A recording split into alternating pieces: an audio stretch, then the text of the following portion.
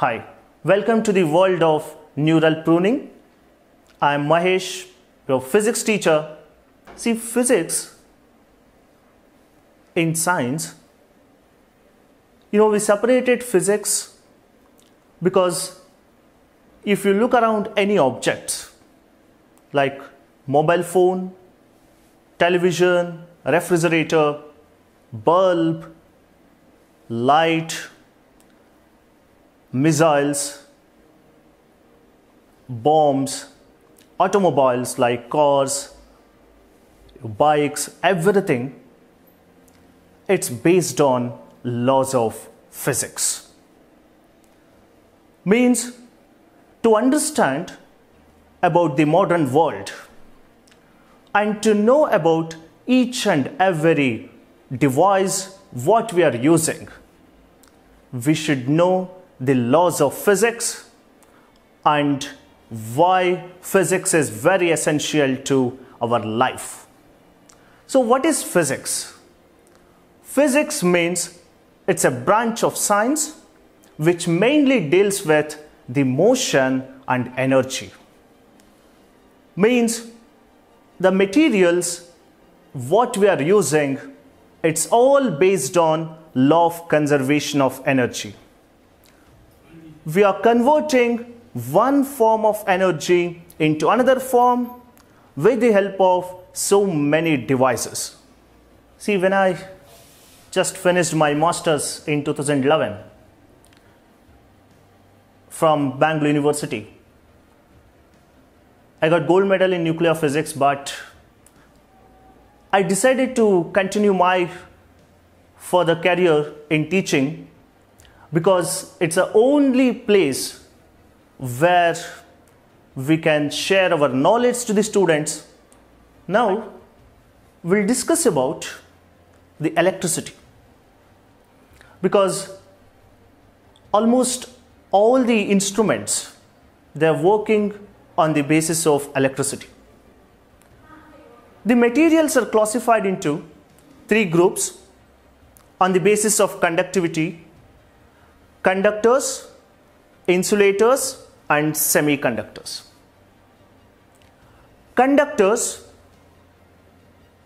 they conduct electricity due to the presence of free electrons. Here electrons are the charge carriers, means they move from one end to the other end if we supply potential difference across the ends of the conductor. Example, all the metals.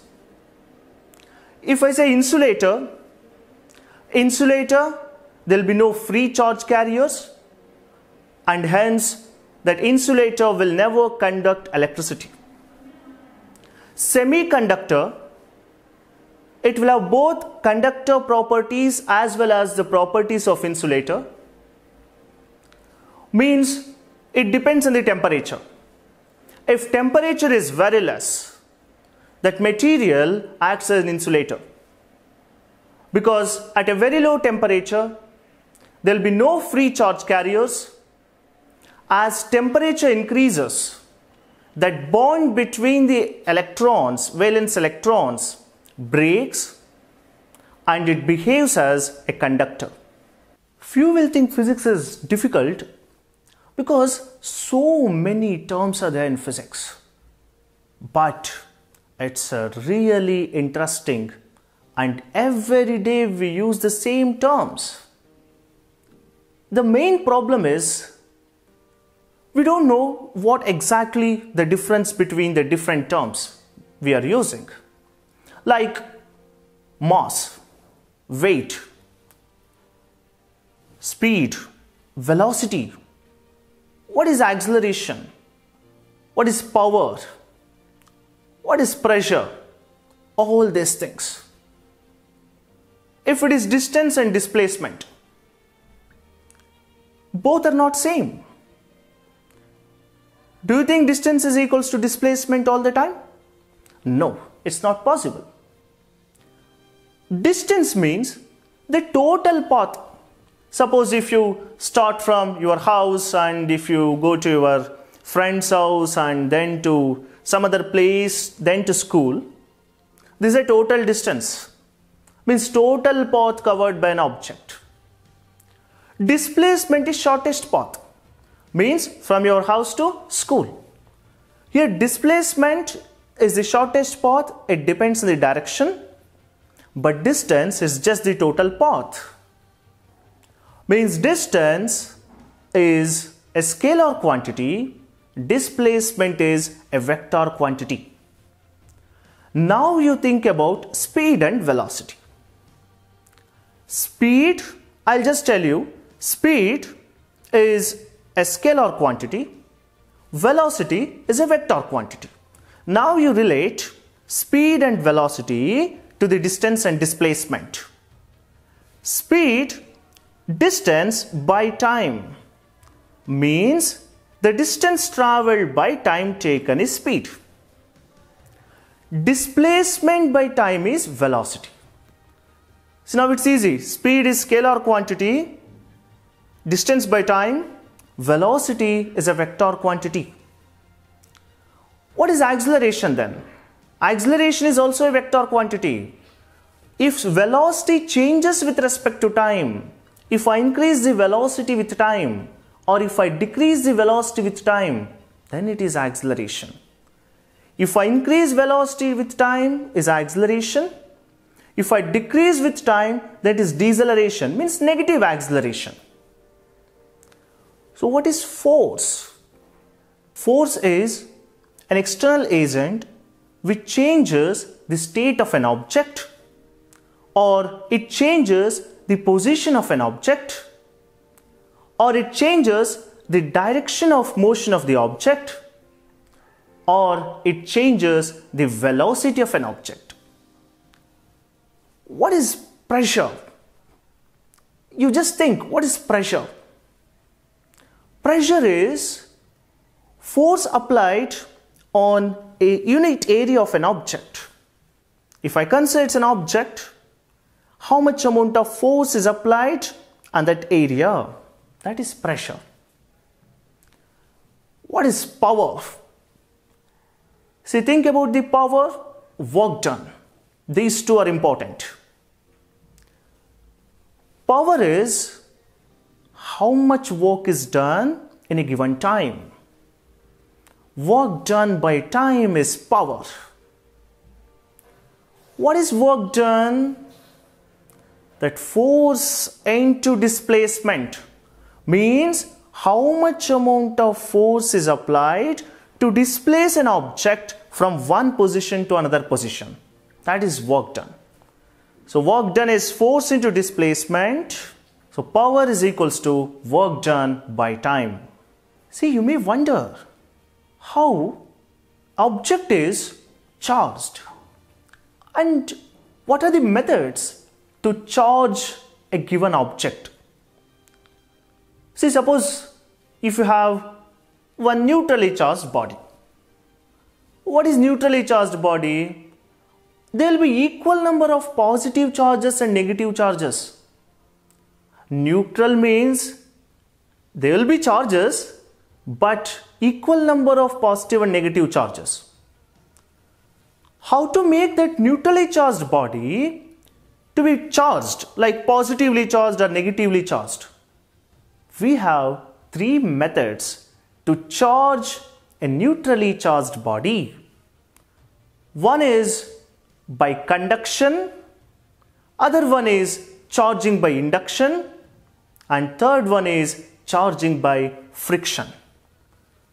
Now there is a just simple question for you. You know the reason for lightning and thundering. Do you think the exact reason for the lightning and thundering and why why that electric discharge is happening between the two charged clouds it's because of charging by induction. Now we'll discuss about charging by conduction by induction and charging by friction. Now look at the two objects this is charged body, more number of positive charges, means it's a positively charged body. it's a neutrally charged. Means equal number of positive and negative charges. But I told you we can make this neutrally charged body to a charged body using conduction. Means if I connect these two charged bodies, means one is neutral charged body, other one is charged body, the flow of charges takes place from charged body to uncharged body. And that flow continues till the charges becomes equal. You see here now there are four positively charged particles and here also four positively charged particles. Now this neutrally charged body it behaves as a positively charged body. It means when uncharged body it comes in contact with the charged body that uncharged body also behaves as a charged body. So this is charging by conduction. Now we'll discuss about charging by induction. Means how to charge uncharged body using a method called induction. First I'll tell you what is induction. See when uncharged body, uncharged body, when they are very close to each other, but they should not be in contact. When they are very close to each other, opposite charges in uncharged body will come and collect to the surface very close to the charged body. And the same charges will reach to the opposite end. If you connect that opposite end to the ground, we can send all that charges to the ground and this entire object behaves as oppositely charged body. Listen, how it is possible? See, it's a positively charged body. Why it is positively charged? Here there are four positive charges and only two negative charges. Since there are more positive charges, it is positively charged body. And this one neutrally charged because there are equal number of positive and negative charges. If I bring these two charge bodies very close to each other. Now look at this diagram. Opposite charges in this neutrally charged body means negative charges. All these negative charges they are very close to the charged body and same charges are at the opposite end. Now this end is connected to the ground means all these positive charges will reach to the earth. Now this neutral body it will have only negative charges and it behaves as a negatively charged body. Charging by induction that neutrally charged body gets opposite charges as charged body. It's just like in clouds.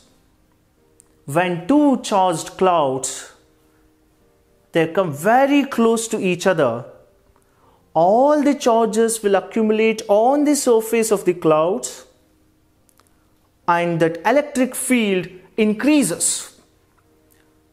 If electric field increases, and once it will reach to the maximum value air molecules it loses its insulating property see here air is an insulator but between the two clouds when clouds are very close to each other air it loses its insulating property and the charges they move from one cloud to the other cloud that's the reason for that lightning and thundering so that lightning and thundering is due to charging by induction.